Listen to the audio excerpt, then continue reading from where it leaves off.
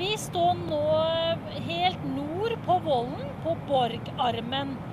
Eh, jeg står oppe på vollen og har da vollgrava bak meg mot Borregaards jernbanelinje. Og på min venstre side så ser vi da merkestein 1 som Vollkomiteen satte opp i 1922. Eh, akkurat for øyeblikket tagga. Men Borgarmen, eh, det er jo et gammelt navn som stammer fra 1400-tallet. Så det gamle navnet på Olavsvollen kan rett og slett ha vært det. At det het Borgarmen.